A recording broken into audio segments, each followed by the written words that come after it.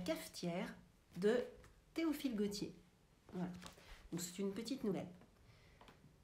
L'année dernière, je fus invité ainsi que deux de mes camarades d'atelier, Arrigo Coic et Pedrino Borgnoli, à passer quelques jours dans une terre au fond de la Normandie.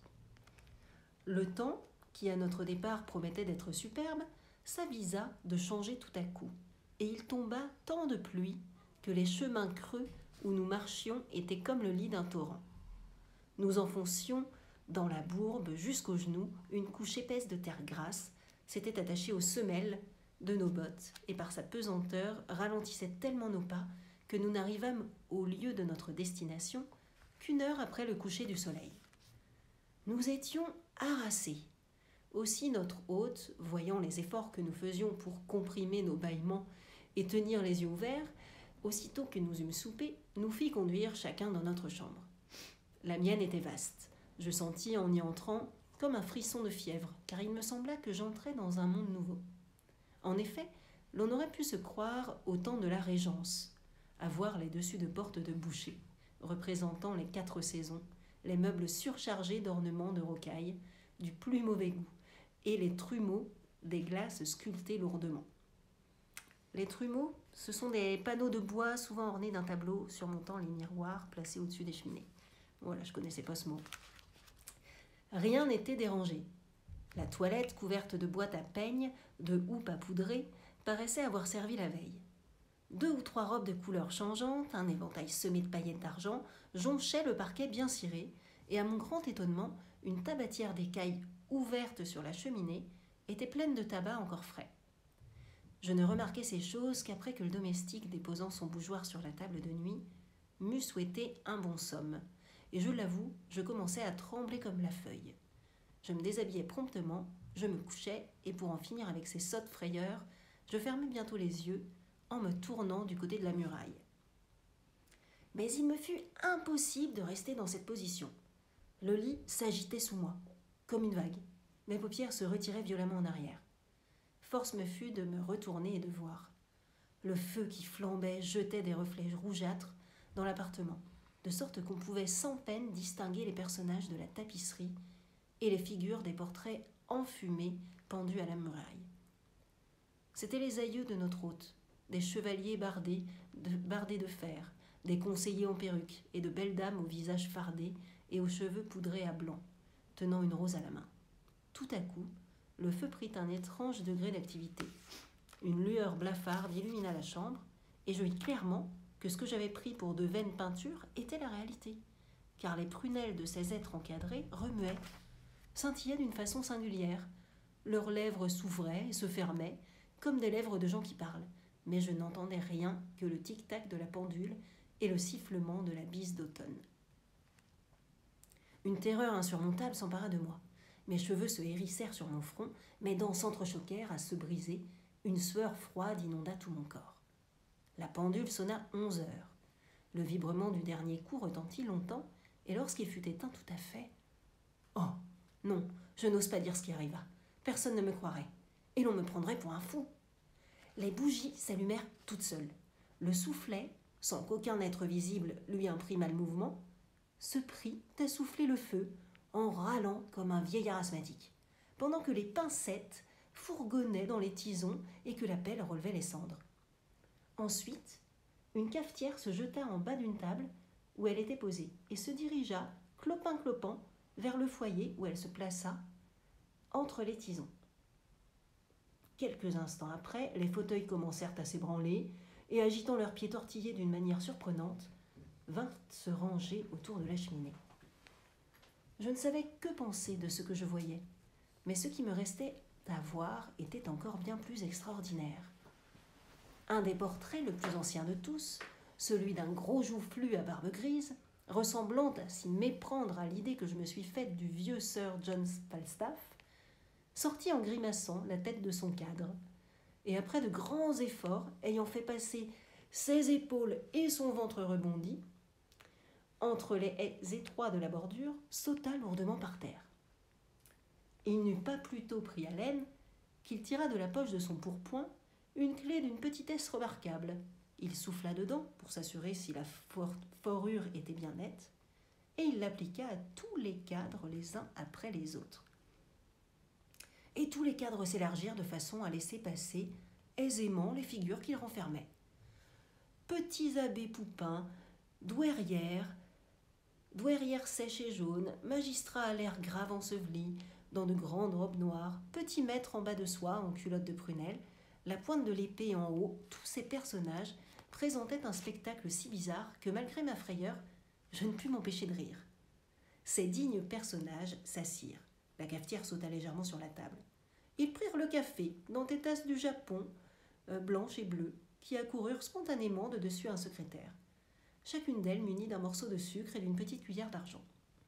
Quand le café fut pris, tasses, cafetière et cuillère disparurent à la fois, et la conversation commença. Certes la plus curieuse que j'ai jamais ouïe, car aucun de ces étranges causeurs ne regardait l'autre en parlant. Ils avaient tous les yeux fixés sur la pendule. Je ne pouvais moi-même en détourner mes regards et m'empêcher de suivre l'aiguille qui marchait vers minuit à pas imperceptibles.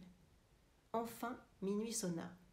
Une voix dont le timbre était exactement celui de la pendule se fit entendre et dit Voici l'heure, il faut danser. Toute l'assemblée se leva, les fauteuils se reculèrent de leur propre mouvement.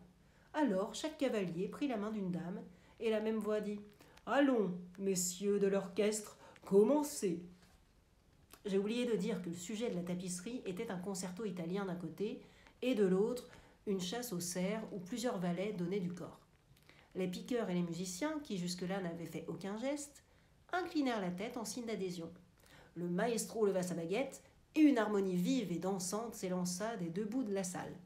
On dansa d'abord le menuet, mais les notes rapides de la partition exécutée par les musiciens s'accordaient mal avec ces graves révérences. Aussi, chaque couple de danseurs, au bout de quelques minutes, se mit à pirouetter comme une toupie d'Allemagne.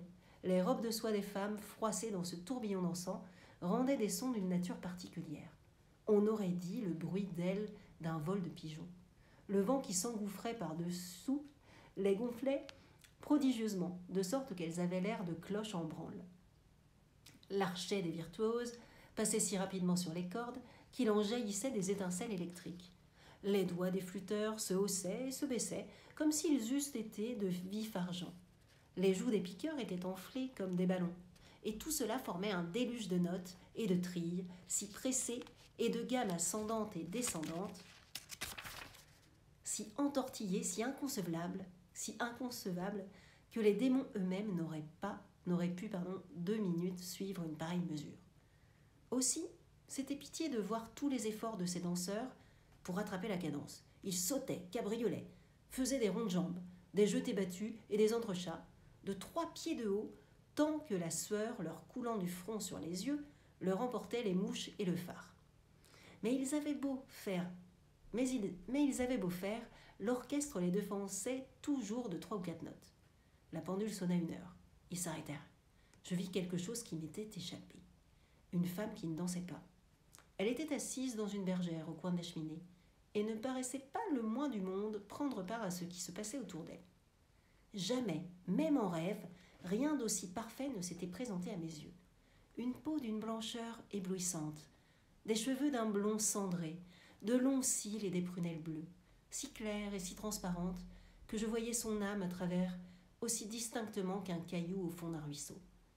Et je sentis que, si jamais il m'arrivait d'aimer quelqu'un, ce serait elle.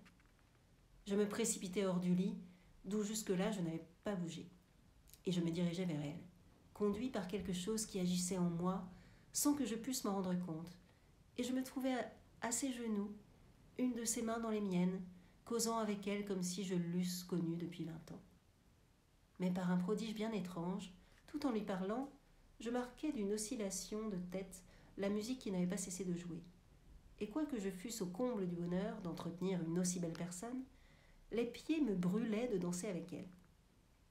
Cependant, je n'osais lui en faire la proposition. Il paraît qu'elle comprit ce que je voulais, car, levant vers le cadran de l'horloge la main que je ne tenais pas, quand l'aiguille sera là, nous verrons mon cher Théodore. Je ne sais comment cela se fit, je ne fus nullement surpris de m'entendre, ainsi appelé par mon nom, et nous continuâmes à causer. Enfin, l'heure indiquée sonna. La voix au timbre d'argent vibra encore dans la chambre et dit Angela, vous pouvez danser avec monsieur si cela vous fait plaisir, mais vous savez ce qui en résultera. N'importe, répondit Angela d'un ton boudeur. Et elle passa son bras d'ivoire autour de mon cou. Prestissimo cria la voix.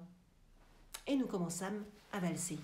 Le sein de la jeune fille touchait ma poitrine, sa joue veloutée effleurait la mienne, et son haleine suave flottait sur ma bouche. Jamais de la vie je n'avais éprouvé une pareille émotion. Mes nerfs tressaillaient, comme des ressorts d'acier. Mon sang coulait dans mes artères en torrent de lave, et j'entendais battre mon cœur, comme une montre accrochée à mes oreilles. Pourtant, cet état n'avait rien de pénible. J'étais inondée d'une joie ineffable, et j'aurais toujours voulu demeurer ainsi. Et chose remarquable, quoique l'orchestre eût triplé de vitesse, nous n'avions besoin de faire aucun effort pour le suivre. Les assistants émerveillés de notre agilité criaient Bravo et frappaient de toute leur force dans leurs mains, qui ne rendaient aucun son. Angela, qui jusqu'alors avait valsé avec une énergie et une justesse surprenantes, parut tout à coup se fatiguer. Elle pesait sur mon épaule comme si les jambes lui eussent manqué. Ses petits pieds, qui une minute auparavant effleuraient le plancher, ne s'en détachaient que lentement, comme s'ils eussent été chargés d'une masse de plomb. Angela, vous êtes lasse lui dis-je, reposons-nous. Je le veux bien, répondit-elle, en s'essuyant le front avec son mouchoir. Mais pendant que nous valsions, ils se sont tous assis. Il n'y a plus qu'un fauteuil et nous sommes deux. Qu'est-ce que cela fait, mon bel ange? Je vous prendrai sur mes genoux? Sans faire la moindre objection, Angela s'assit, m'entourant de ses bras comme une écharpe blanche, cachant sa tête dans mon, dans, dans mon sein pour se réchauffer un peu, car elle était devenue froide comme un marbre. Je ne sais pas combien de temps nous restâmes dans cette position, car tous mes sens étaient absorbés dans la contemplation de cette mystérieuse et fantastique créature. Je n'avais plus aucune idée de l'heure ni du lieu. Le monde réel n'existait plus pour moi, et tous les liens qui m'y attachent étaient rompus. Mon âme, dégagée de sa prison de boue, nageait dans le vague et l'infini. Je comprenais ce que nul homme ne peut comprendre, les pensées d'Angela se révélant à moi sans qu'elle eût besoin de parler, car son âme brillait dans, dans son corps, comme une lampe d'albâtre, et les rayons partis de sa poitrine perçaient la mienne de part en part. L'alouette chanta, une lueur pâle se joua sur les rideaux. Aussitôt qu'Angela l'aperçut, elle se leva précipitamment, me fit un geste d'adieu, et après quelques pas, poussa un cri et tomba de sa hauteur. Saisi d'effroi, je m'élançai pour la relever. Mon sang se fige rien que d'y penser. Je ne trouvais rien que la cafetière brisée en mille morceaux. À cette vue, persuadée que j'avais été le jouet de quelque illusion diabolique, une telle frayeur s'empara de moi que je m'évanouis. Lorsque je repris connaissance, j'étais dans mon lit. Arrigo Coic et Pedrino Borgnoli se tenaient debout à mon chevet. Aussitôt que j'eus ouvert les yeux, Arrigo s'écria Ah, ce n'est pas dommage Voilà bientôt une heure que je te frotte les tempes d'eau de Cologne. Que diable as-tu fait cette nuit? Ce matin, ce matin, voyant que tu ne descendais pas, je suis entrée dans ta chambre et je t'ai trouvé tout du long étendu par terre, en habit à la française, serrant dans tes bras un morceau de porcelaine brisé, comme si c'eût été une jeune et jolie fille. Pardieu, c'est l'habit de noces de mon grand-père, dit l'autre en soulevant une des basques de soie, fond rose à ramage vert. Voilà les boutons de strass et de filigrane qu'il nous vantait tant. Théodore l'aura trouvé dans quelque coin et l'aura mis pour s'amuser. Mais à propos de quoi t'es-tu trouvé mal? ajouta Borgnoli. Cela est bon pour une petite maîtresse qui a des épaules blanches. On la délace, on lui ôte ses colliers, son écharpe, et c'est une belle occasion de faire des minauderies. Ce n'est qu'une faiblesse qui m'a pris. Je suis sujet à cela, répondis-je sèchement. Je me levai et je me dépouillai de mon ridicule accoutrement. Et puis l'on déjeuna. Mes trois camarades mangèrent beaucoup et burent encore plus, moi, je ne mangeais presque pas. Le souvenir de ce qui s'était passé me causait d'étranges distractions. Le déjeuner fini, comme il pleuvait à verse, il n'y eut pas moyen de sortir. Chacun s'occupa comme il peut. Borgnoli tambourina des marches guerrières sur les vitres. Arrigo et l'hôte firent une partie de dames. Moi, je tirai de mon album un carré de vélin, de vélin et je me mis à dessiner.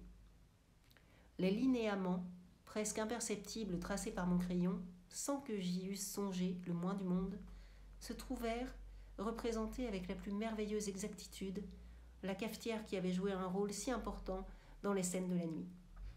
C'est étonnant comme cette tête ressemble à ma sœur Angela, dit l'autre, qui, ayant terminé sa partie, me regardait travailler par-dessus mon épaule. En effet, ce qui m'avait semblé tout à l'heure une cafetière était bien réellement le profil doux et mélancolique d'Angela. De par tous les saints du paradis, est-elle morte ou vivante m'écriai-je d'un ton de voix tremblant comme si ma vie eût dépendu de sa réponse. Elle est morte, il y a deux ans, d'une fluxion de poitrine à la suite d'un bal. Hélas, répondis-je douloureusement. Et retenant une larme qui était près de tomber, je replaçai le papier dans l'album. Je venais de comprendre qu'il n'y avait plus pour moi de bonheur sur la terre. Et voilà.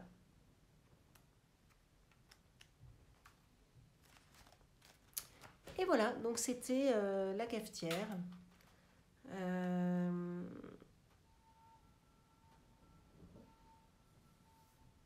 ça a été publié pour la première fois dans le cabinet de lecture, un quotidien en 1834. Et, euh, et voilà, et là il y a une petite étude quand même sur, sur l'heure, rapidement je peux lire un petit peu. Histoire des arts, rêves, cauchemars, fantômes et démons au XIXe siècle. Donc au XIXe siècle, alors que l'enthousiasme scientifique met la raison au centre de toute chose, on ne connaît malgré tout pas encore l'existence de l'inconscient.